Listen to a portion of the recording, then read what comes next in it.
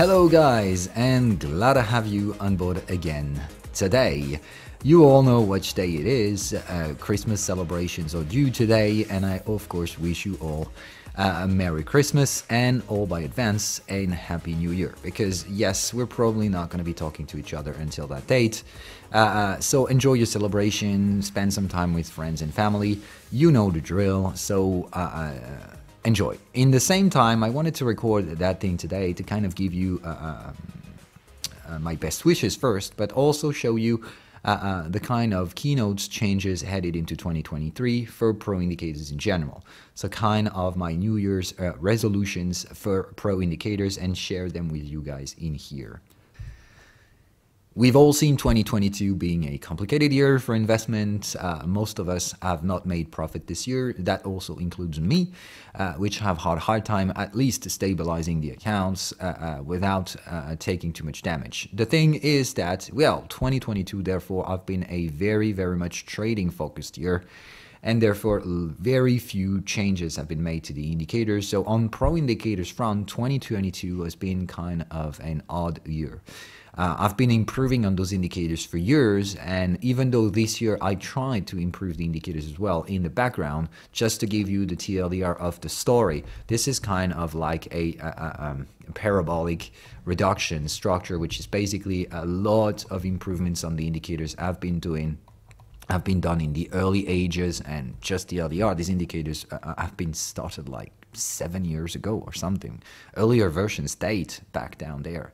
So that's really the thing it is. It's been seven years of evolution. And today we're reaching the point in which even though I would spend a lot more hours in trying to improve those indicators, the net result is diminishing. So it's basically the area in which I consider the development job for these tools pretty much uh, uh, terminated. I still will readjust some parameters at some point, but it will be very limited, uh, barely invisible type of upgrades. So that's one thing. The maturity stage of these indicators heading into 2023 is that you must not expect radical changes to these indicators. Most of the successful job has been done so far. So despite fine tuning, nothing is going to change. So that's one thing for you guys. All of you who have been uh, uh, uh learning with those indicators more or less longer for some of you guys, can have one thing for sure now. The direction the indicators have today is the direction they will still have, probably years from now. I expect very few changes on that front. So the tools you've been learning with are not going to change. Now you have the sustainability of it. On the second factor, if you remember that, uh, post COVID breakdown and stuff like that, uh, um, uh, we had the lockdowns, and I back then have decided to pull these indicators out for free, which means basically for almost a year, the indicators access have been free to everyone requesting access. Uh, starting, I think it was um, pretty much in June or I don't remember. I don't. I think it was August uh, 2020. I've restarted uh, uh, the indicators access uh, uh, to this, and basically, um, what it ended up being is that I've introduced a 20 month cap to access lifetime uh, on the indicators, which means basically now you have a cap on how much you spend to get access for those indicators forever. So this has been introduced back then, and of course, they will come in due force earlier next year. So for those who have uh, re-signed up uh, back in those days, the 20-month cap is going to be reached earlier this year. That means your payments will stop and your indicators access will be there forever. So for these guys, you have uh, um, two informations to take out of this uh, today's podcast. The first one is you're finally going to reach after uh, 20 months of consecutive payments uh, your payments should stop automatically. PayPal should be handling this, which means you simply don't have to do anything. The payments will stop on themselves and your indicator access will remain active. And you will have access to those indicators forever on. So that's really the way it is. Uh, the indicators access has always been the same, meaning that every uh, uh, tool on the kit is accessible with this subscription, which means if you've uh, reached the lifetime cap, then basically, of course, any upgrade on those three indicators will be included. Though the pro financial stuff that I showed you is going to be there as well. Uh, uh, so this one is coming along the way. This is probably the latest technical addition that there will be on the Pro Indicators. Uh, for those who don't know anything of what I'm talking about, I'll just show it to you. I'm sorry. This is basically uh, a tool for advanced user of the strategy, which is going to make use of financials, which is basically you're going to be able, if you look at a stock, though in here, for example, I'm looking at Apple, uh, you will be able to have a breakdown of the earnings release statistics in a very, very uh, uh practical way. You're going to have revenues, earnings per share, and you have a breakdown of the revenue bar, gross profit, and net profits breakdown. So basically, how much money the company made, how much margin does it take, are the margin improving, reducing, and all of these things that you can see in a very much condensed way. So this tool has been uh, uh, uh, put it in a hold for a long time. 2022 has been a rough year, and I had to spend much more time into trading and managing uh, uh, the community community and the psychology of investors to try not to just break down. So it's been a rough year for everyone. Uh, 2023, I think I will focus on this and try to put an end to this dev job, which means I'm going to put the latest increments into that parabolic curve that we've highlighted earlier, which means most of the breakthrough of these indicators uh, improvements have been done in the past. There's still marginal increments to exist, one of them being the inclusion of pro financials. Uh, uh the thing is that uh, um, uh, there are some other things that I would like to update in framework and momentum, mostly uh, uh, on the UI side. Uh, so that's basically what I'm going to be showing you today because uh, as a Christmas gift, uh, I decided to release that update. It will be released probably tomorrow or so because it's going to, eventually I'll do it this afternoon if I can, or just probably going to release it tomorrow, just like a Christmas gift from Pro Indicators. So uh, that's the way it's going to be. Okay, so I'll show you what this thing is all about. So uh, uh, just a tiny mark is that the Pro Financial update is not going to be included for now. I intend to include it eventually into the Pro Alert stuff, which is more anyway a, a, a advanced trader experience, which is basically uh, using multi-time frame and those alerts uh, uh, and stuff is more for those who are already very familiar with the use uh, and use cases of the indicator. Um, so, like I said, Pro Financial is more of a um, advanced tool in the kit. So uh, beginners in that session uh, using the indicators for the first times or for the first month clearly don't make use of these. Okay, so this is separated stuff which is going to be released probably earlier next year. So despite that, like I said, major improvements that I've made lately are going to be on the UI side. And that comes along with a massive change that will be on my 2023 resolution. There's one thing that has always been the case since then. A lot of people have been complaining about that.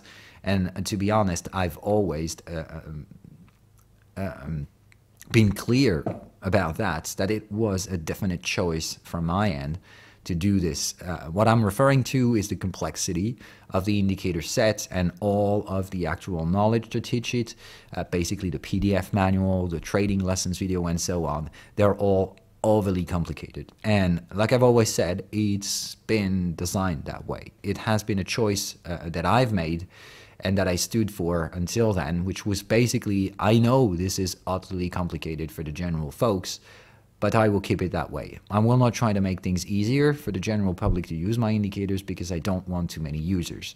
The reason was pretty simple, and I hope you would understand that way, is that I was the only one uh, handling that community, a single person to handle 10,000 people in a Discord uh, uh, and a YouTube channel without ever a single dollar spent. So this was basically a, tremendous uh, magical thing that happened in here because it should have broke down way, way earlier than that. And still, this thing has its up and downs, but it's still there. Years later, without a single dollar spent, no one has ever been paid into this Discord. You have to understand there is no community manager. All everyone in here is working as a volunteer, and this is really, really, in my humble opinion, like magic that it's been sustained so long. It should have crashed long ago. So uh, of course, these are the things that I think we're going to have to work upon uh, when it heading into 2023. And these are the things, the new resolutions that I'm willing to take. I'm finally willing to change my mind on that front. And I think uh, that it passes through a multiple set of the dates that I will release today. So the first one being I will change the set of indicators in their UI and UX type of stuff, which is going to be, let me just show you basically what it looks like. Okay, so as you can see, uh, this is framework, though this is going to be version 5.2. Uh, uh, which is uh, going to be released, like I said, next few hours or tomorrow, uh, probably. Though it is a complicated set of indicators, I've always said it. Uh, this is not the same old usual buy sell shit that you will see uh, in the marketplaces. Uh, this is a complicated set of tools. You, you can see this is just half of the code itself minimized. So this is really complicated stuff. I'm already reaching out the maximum complexity uh, that TradingView can offer. Meaning that if I added some more code to this with new features and stuff and stuff like that, like the Pro Financials, which I actually tried to implement into Frameworks code, simply actually just can't work. Which means the problem with this thing is that it's overly complicated already in terms of TradingView's limitations. So like I said earlier, don't expect any major changes to the indicator. They've reached maturity already, uh, so your tools aren't going to change that much. What is going to change instead is their look. So let me show you what it actually will look like. So if I had this thing to the chart right now, you will have an immediate pop-up, which means even before using the indicator, you will have to choose the difficulty level, which is basically where are you and how much do you mature uh, in the strategy's progression. So uh, beginners will have to start with a range, which is basically, like I've always said, this is a step incremental uh, progression that there is in the strategy, and the indicators I think will have to uh, incrementally go harder as well. Which means for the early stages of the strategy, you don't need the whole set of stuff. You need a simple UI so that things don't uh, uh, are overwhelmingly complicated to you guys. What it means is that basically some of the things that are in the strategy today are going to be removed so that you don't necessarily have too many information. First thing is that, for example, for the beginners, the actual trend channel is going to disappear, uh, uh, which means you don't necessarily need it in the early stages when it comes to range. Learning, well, the trend channel isn't absolutely necessary. The thing is that this update will be coordinated between uh, momentum and framework, and let me show you what it looks like in terms of momentum. All right. So same story in here, the same modes are going to be available. Uh, in here, just three of them. Uh, there will be the fourth one, like I said, if I eventually include uh, uh, uh the pro uh, financials in here. I don't know yet. This is just the final stage. But for now, it's going to be three stage for this one. And the beginner one is going to be much, much easier for you to read. give it a second to plot. Okay, so this is basically what you will have in the early stages because I think beginners don't need anything more than that. That means the momentum line has disappeared, it's not visible, and you don't actually need it. What you will have instead is the sine wave, the typical sine wave on the local time frame, and as it is, you never trade uh, uh, uh to the downside unless the uh, uh, sine wave is in here, and that goes on that way. That means here is the only area in which you can buy and so on, okay? You still have access to the signals and stuff like that, but you don't have all the additional toolkit which makes things overcomplicated. So when you start looking at ranges, this is the way it is. You have a timing indicator, you have a risk limitation signal, and you don't need to do anything more than that. You don't anticipate signal that doesn't exist.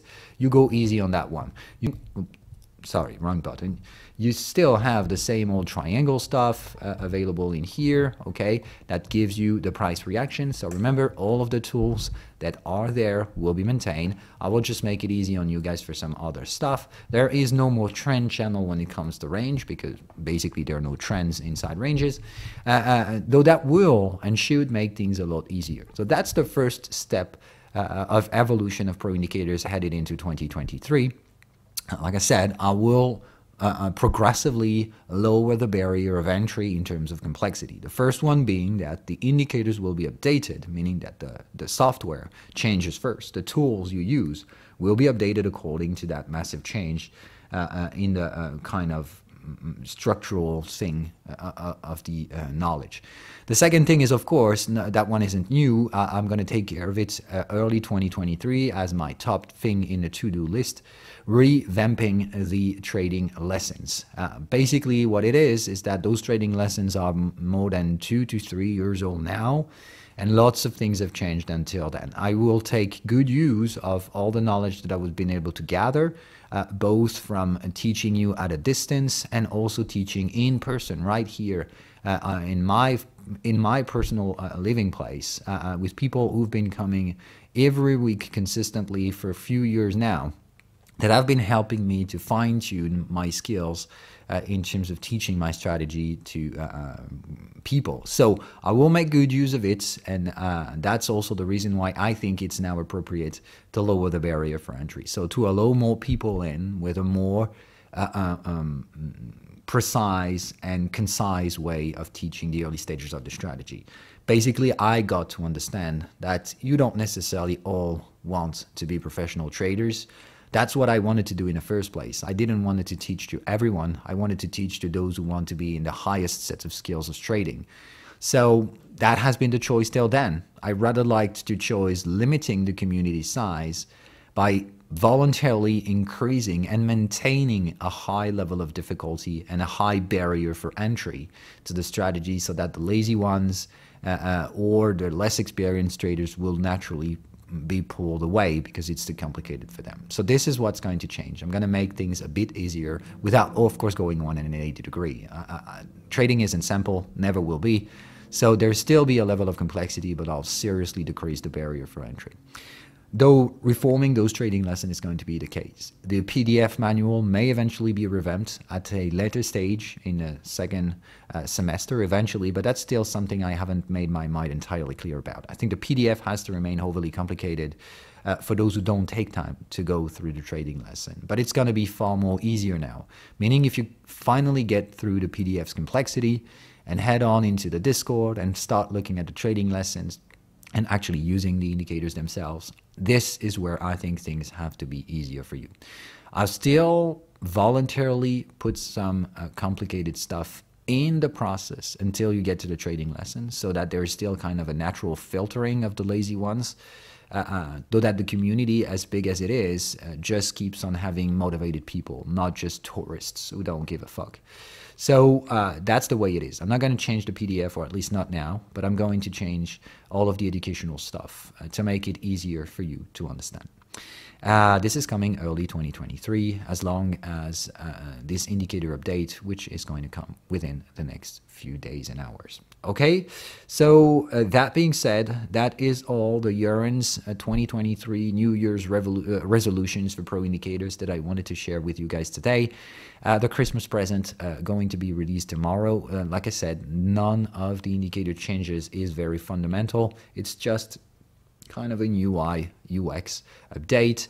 And I sincerely invite every one of you who is currently learning the strategy with those tools to update the indicator to that new version to be smart enough not to overstate your current position in the strategy's progression. If you are still a beginner learning ranges, I sincerely invite you to use those more uh, uh um, uh, less intrusive type of uh, UI, which means there are less things in the screen, which makes easier for you to process correctly the information that you're supposed to process uh, when you're learning ranging context and so on. As you progress, of course, things will start to go in. You will start to have the trend channel just show you how it goes. Like if you go intermediate in here, you will have the ability to start looking at this, which means basically I suggest you should turn on historical alerts.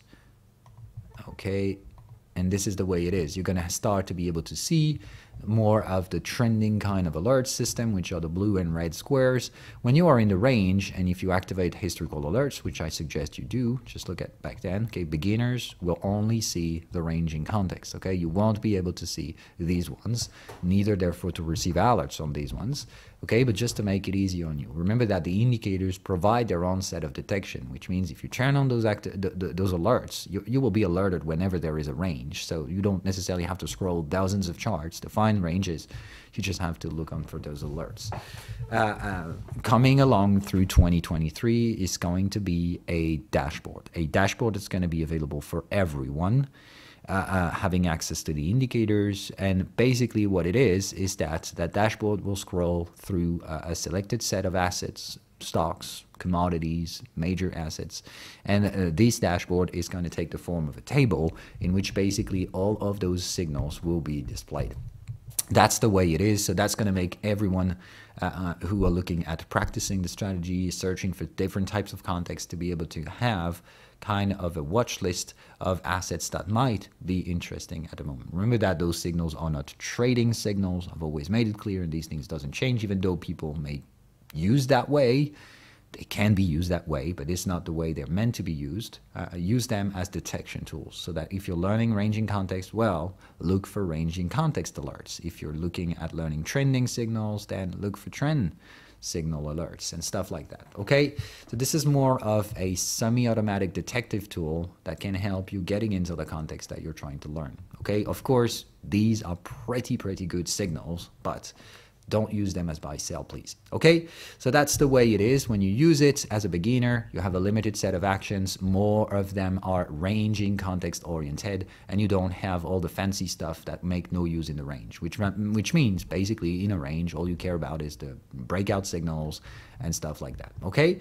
If you switch to more intermediate trend system what you will be able to see in here is the appearance of the trend channel that goes along with it. And of course, now the trending contexts are detected according to this.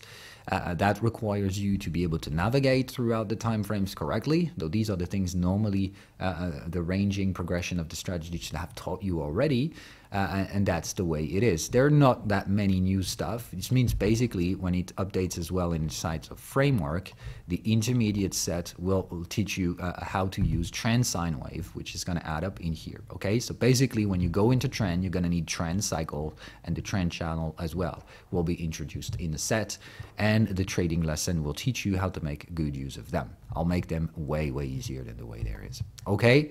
Of course, on top of this comes the more expert stuff, which is where you start diving into volatility uh, uh, and stuff like that. So this is where when you go expert, meaning that you master trends and range context, you're going to be able to use volatility derivatives.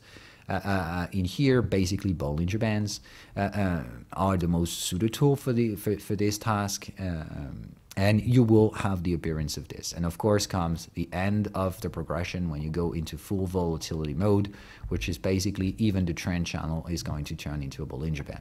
So this is the way it is. As you progress to the strategy, first you'll need to learn on the low risk end of the curve how to detect the low risk strategies, the low risk areas, and then you progress uh, to what more riskier takes, meaning going into the shorter time frames, uh, and learning how to trade flows. Flows are, basic, uh, are major um, components of the strategy that will be introduced in 2023.